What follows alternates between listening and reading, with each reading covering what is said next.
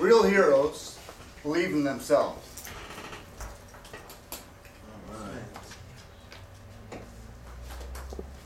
John Winston Lennon was born in the fall of 1940 during a German air raid of Liverpool, England.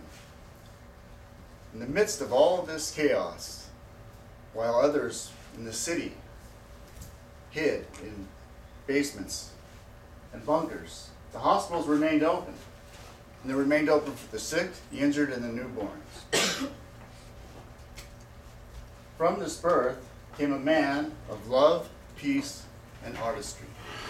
Most of you all know who John Lennon is and what he became. He became a member of a quintet which was called the Beatles. Um, John was always known as probably the intellectual and the leader of the group. Um, he believed in himself. At that time, he had a dream. And his dream was for rich, to be rich and famous, both through music.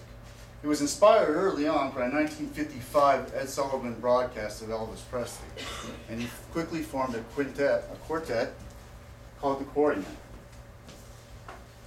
Most of you know what happened from there on. They became very famous and very rich, and successfully toured the United States.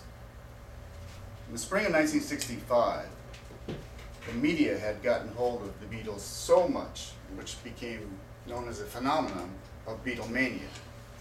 During one interview, after many, many endless interviews, a common reporter approached Lennon and wanted to know why did he think the Beatles were so big and what was it?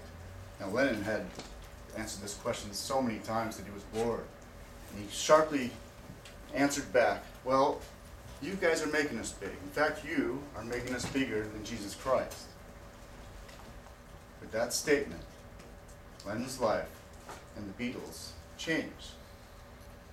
From what was a small reporter in a small newspaper had become headlines on newspapers throughout the world the next day. A few days later, Lennon recounted his statement, said that he was just attacking the reporter, and told him that he thought the media had made the Beatles so big and beyond that we could never live up to that.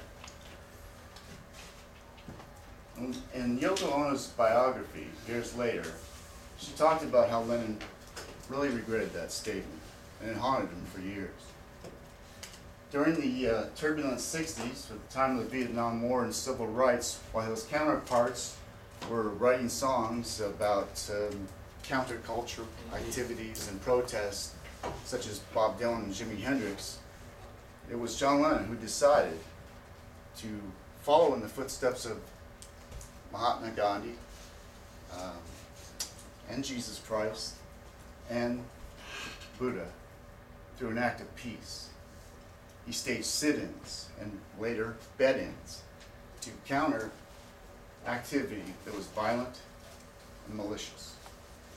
He believed that through peace, he could achieve love and unity in the world. He was the one that stated, can we give peace a chance? Later on, as the Beatles departed and his demised, he's in his very first solo album, Plastic Ono Band, he wrote a song called God. And the lyrics of that song are sort of a mantra, saying that he doesn't believe in this and that. At the very end of the song, he quotes, I don't believe in Elvis, I don't believe in Zimmerman, which is Bob Dylan, and I don't believe in Beatles. I just believe in me, and that's reality. I really related to that. I thought that if if someone could believe in themselves that much, then they could achieve great things. So he taught me that.